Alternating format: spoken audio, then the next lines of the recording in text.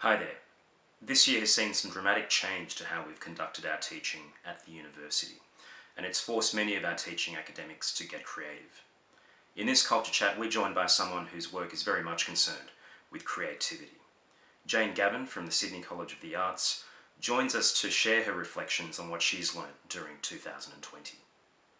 Thanks for joining us, Jane. Can you tell us a bit about what it's been like teaching creativity and creative practice over Zoom?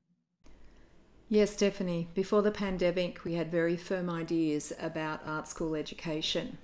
One of the big shifts was that we thought about how we encourage students to expect the unexpected. So, this pivot to using COVID as the subject matter of creative art thinking about how we can use digital media um, in that particular time in first semester was really great. We had film and sound and video works as the focus, and the home studio was really important, thinking about your home space as a creative space.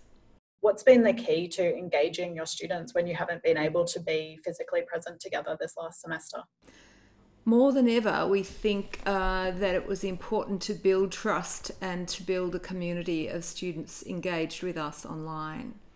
We offered a high energy and a low anxiety environment by doing things like using lingua franca approaches to using the chat box, for example, not having to write full sentences, thinking about dot points and phrases instead. One exciting thing that we did that we'll keep doing is we took the students to Locust Jones, who's a contemporary local artist up in the Blue Mountains, right into his studio for a live chat. And we saw contemporary current work in progress, and the students got to ask him questions. And now we realize we can be zooming into different artist studios all over the world.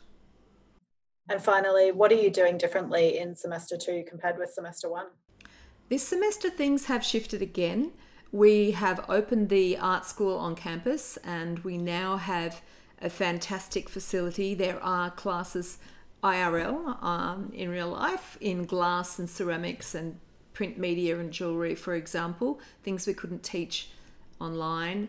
And as a faculty in July, we really stepped back and reflected on that experience. And now we have a wonderful project that we're running called Online by Our Design. There's a Canvas site which eh, we welcome people to have a look at. It provides a lot of resources and offers a more mindful way of engaging in online and blended learning. Jane's experience will no doubt resonate with many others who've had to get creative with their teaching this year. But very interesting to hear her reflections there on the importance of trust and inclusion in the classroom.